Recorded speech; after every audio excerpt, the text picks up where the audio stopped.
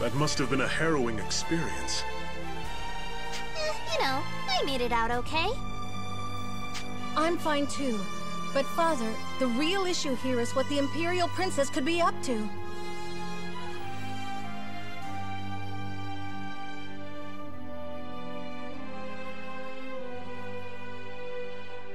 Agreed. Ever since Princess Excella arrived, Imperial activity has been on the rise. Mark my words, some foul wind is blowing in. Before this, all they were interested in was fortifying the holdings they already had. We'll be in real trouble if they decide to mount an offensive, you realize. They win the numbers game if they bring everything they have to bear.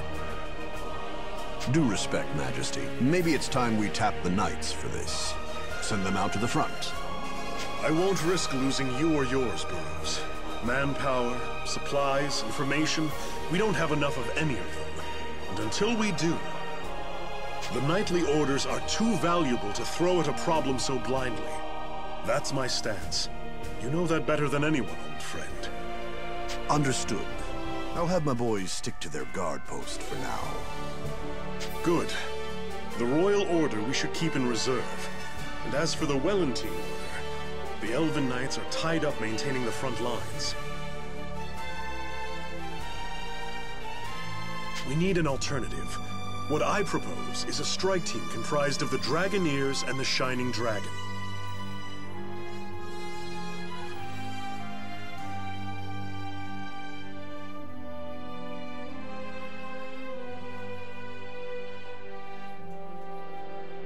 We'll be counting on you as the backbone of that unit, Yuma.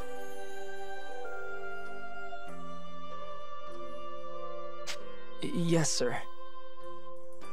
Counting on me, huh? What can I even really do? When Jinas attacked me, I froze up. Tapping into the dragon's power was the last thing on my mind. Can I trust myself to handle that pressure again?